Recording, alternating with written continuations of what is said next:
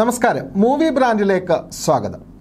Super star മമ്മൂട്ടിയെ നായകനാക്കി ലാൽ ജോസിന്റെ സംവിധാനത്തിൽ ആയിരത്തി തൊള്ളായിരത്തി തൊണ്ണൂറ്റിയെട്ട് ഏപ്രിൽ എട്ടിന് പുറത്തു വന്ന ആദ്യ സിനിമയാണ് ഒരു മറവത്തൂർ കനവ്. അത് മലയാളികളുടെ മനസ്സിൽ ഒരു കനവായി തന്നെ ഇപ്പോഴും നിറഞ്ഞു നിൽക്കുന്നുണ്ട്. ഈ സിനിമ പുറത്തിറങ്ങിയിട്ട് കാൽ നൂറ്റാണ്ട് പൂർത്തിയാകുകയാണ്.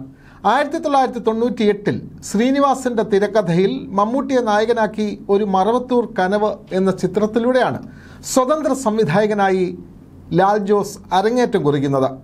ചന്ദ്രൻ ഉദിക്കുന്ന ദിക്കിൽ രണ്ടാം ഭാവം മീശമാധവൻ പട്ടാളം രസികൻ ചാന്തുപൊട്ട് അച്ഛനുറങ്ങാത്ത വീട് സഹപാഠികൾ Arabikkatha Mulla Neelathamara Elsamma Enna Aanakkutty Spanish masala diamond necklace അയാളും ഞാനും തമ്മിൽ ഇമാനുവൽ പുള്ളിപ്പുലികളും ആട്ടിൻകുട്ടിയും ഏഴ് സുന്ദര രാത്രികൾ വിക്രമാദിത്യൻ നീന വെളിപാടിന്റെ പുസ്തകം തട്ടുംപുറത്ത് അച്യുതൻ നാൽപ്പത്തിയൊന്ന് മ്യാവു സോളമന്റെ തേനീച്ചകൾ എന്നിവയാണ് മറ്റ് സിനിമകൾ.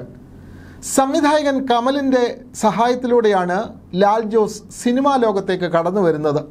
പ്രാദേശിക വാർത്തകൾ മുതൽ കൃഷ്ണകുടിയിലെ ഒരു പ്രണയകാലത്ത് വരെ പതിനാറ് ചിത്രങ്ങളിൽ കമലിനൊപ്പം അദ്ദേഹം പ്രവർത്തിച്ചു. തമ്പി കണ്ണന്താനം ലോഹിതദാസ് ഹരികുമാർ തുടങ്ങിയ പ്രമുഖ സംവിധായകരുടെ അസോസിയേറ്റ് ഡയറക്ടറായും ലാൽ ജോസ് കഴിവ് തെളിയിച്ചിട്ടുണ്ട്.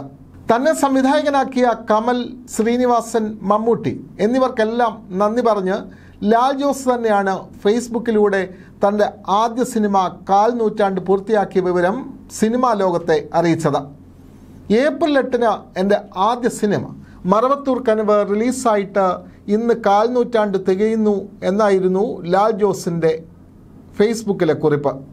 ഒരുപിടി വലിയ മനുഷ്യരുടെ സന്മനസ്സാണ് എന്നെ വഴി നടത്തുന്നത്. ഈ ദിവസം ഞാൻ അവരെ എല്ലാം നന്ദിയോടെ ഓർക്കുന്നു.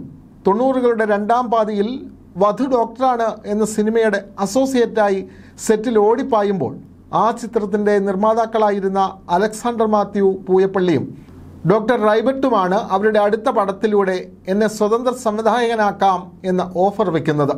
ഉടനടി ഒരു തീരുമാനത്തിന് ധൈര്യമില്ലാത്തതിനാൽ ശ്രീനിയേട്ടനോ ലോഹിസാറോ തിരക്കഥ എഴുതി തന്നാൽ സംവിധാനം ചെയ്യാം എന്നൊരു അതിമോഹം പറഞ്ഞു. വധു ഡോക്ടറാണ് എന്ന ചിത്രത്തിന്റെ സെറ്റിലുണ്ടായിരുന്ന ശ്രീനിയേട്ടന്റെ ചെവിയിലും ഈ വിവരം അവർ എത്തിച്ചു.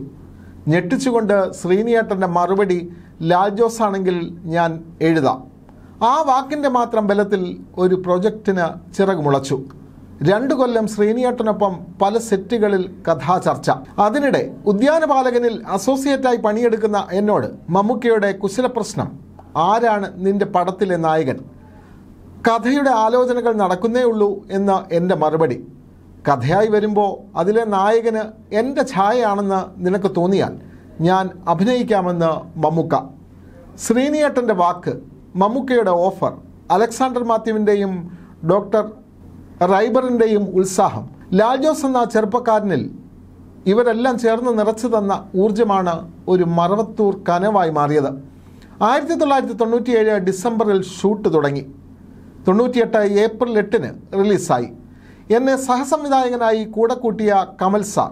എന്നെ വിശ്വസിച്ച് എന്റെ ആദ്യ സിനിമയ്ക്ക് തിരക്കഥ എഴുതിയ ശ്രീനിയേട്ടൻ. പുതുമുഖ സംവിധായകന്റെ നായകനായ മഹാനടൻ സിനിമ വലുതായപ്പോൾ നിർമ്മാണവും വിതരണവും ഏറ്റെടുത്ത സിയാദ് കോക്കർ നന്ദി പറയേണ്ടവരുടെ പട്ടിക തീരുന്നില്ല. അതെന്റെ ജീവനോളം വലിയ ഒരു സുദീർഘ ലിസ്റ്റാണ്.